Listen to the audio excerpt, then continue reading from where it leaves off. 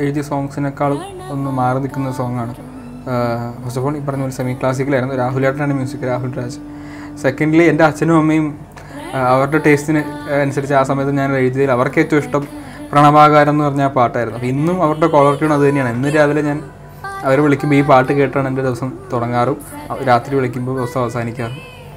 അപ്പോൾ ഭയങ്കരമായിട്ട് ആഗ്രഹിച്ചിരുന്നു അങ്ങനെ ഒരു പാട്ട് എഴുതണം എന്ന്. അപ്പോൾ പിന്നെ റെഫറൻസ് ആയിട്ട് തന്നതും കൈതപ്പുറം സാറൊക്കെ എഴുതിയ ഹിസൈൻ അബ്ദുള്ളയിലെ പാട്ടൊക്കെയാണ്. ഞാൻ പറഞ്ഞു ഇത്രയൊന്നും തരണ്ട. ഞാൻ അങ്ങോട്ട് സാധനം തരും.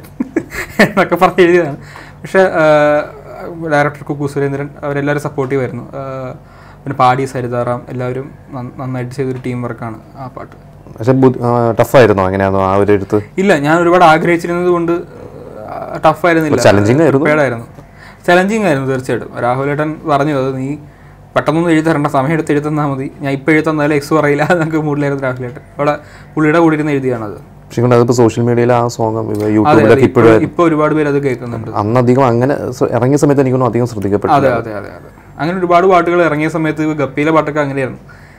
തനിയെ മിഴികളൊക്കെ. ഇറങ്ങിയ സമയത്ത് അങ്ങനെ വിചാരിച്ചത്രയും ശ്രദ്ധിച്ചില്ല. പക്ഷെ പിന്നീടൊരു മൂന്നാൽ മാസം കഴിഞ്ഞപ്പോൾ ഇതെല്ലാവരും കേട്ട് കേട്ട് കേട്ട് ബിൽഡായി ഹൈപ്പായ പാട്ടുകളാണ്.